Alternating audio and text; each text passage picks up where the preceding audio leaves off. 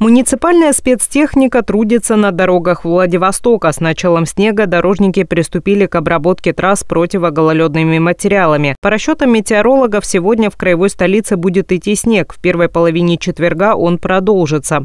Временами будет идти сильный снег. Общее количество выпавших осадков может достигнуть 25 сантиметров.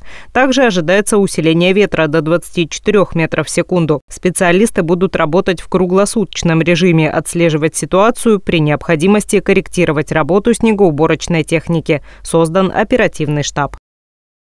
У нас в научно-дорожной сети задействовано порядка 185 э, единиц техники.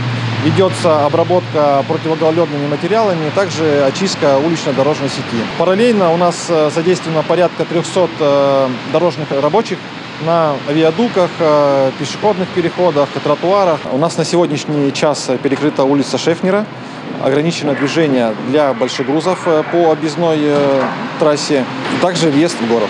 Во второй половине дня ожидается усиление снега, поэтому принято решение отменить посещение в школах.